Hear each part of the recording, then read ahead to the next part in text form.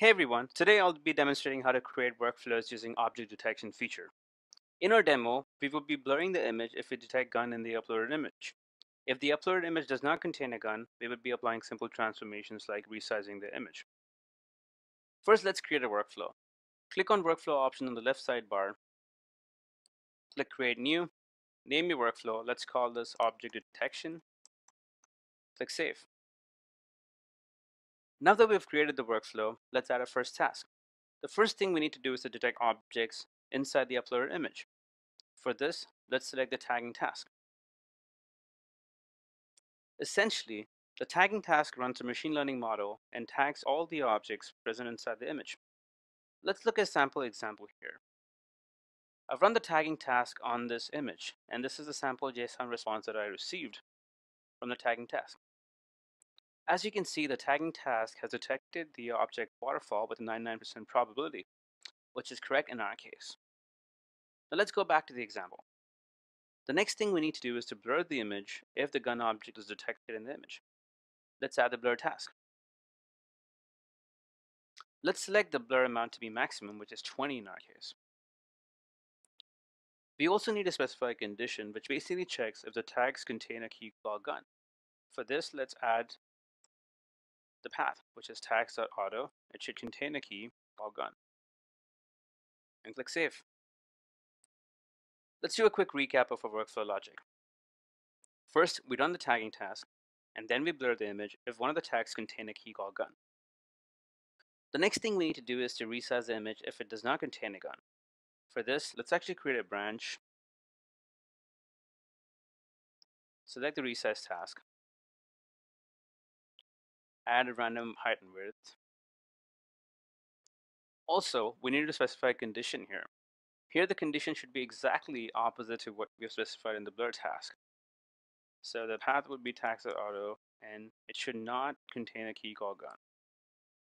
Click save. So this completes the workflow setup, but there are a few more things we need to do before we can test out the entire workflow. First, we need to update the picker configuration with a new workflow configuration. So click on picker configuration, copy this code snippet, and update the file where the picker configuration is previously stored. Next, we need to add a webhook so that we can receive a JSON response after the workflow execution is complete. So go to configuration, webhooks, add your webhook. So this completes the entire setup. Now let's test our workflow using a couple of example scenarios. I'll be using JS Fiddle for the demo. In this demo, I'll be testing out two scenarios. In scenario 1, I'll upload an image which contains a gun, and in scenario 2, I'll upload an image which does not contain a gun. I'll also show you how the responses to our webhook will look like in both these scenarios. Let's go and upload the first scenario, which is up uploading an image which contains a gun. Click upload. In a few seconds, we should be receiving a response to our webhook. Here you go. This is a sample response I just received.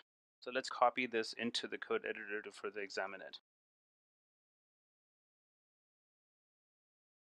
So as expected, the object gun has been detected inside the tags element with a 99% probability. And we also see that the blur task has been run and the image has been blurred. So let's actually open this image to confirm if the image has been blurred. Here you go, the image has been blurred. So this confirms that our workflow logic works well in our scenario one.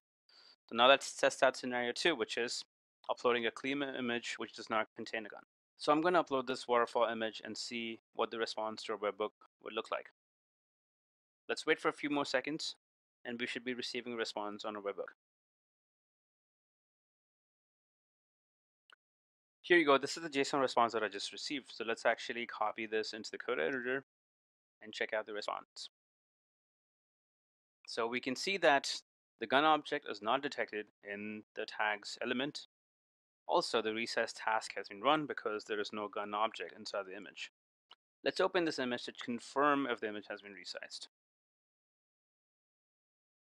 Here you go. The image has been resized to the set dimensions. So this confirms that our workflow logic works well in scenario 2 as well. So this completes our object detection workflow tutorial. Let us know if you have any further questions. Thank you.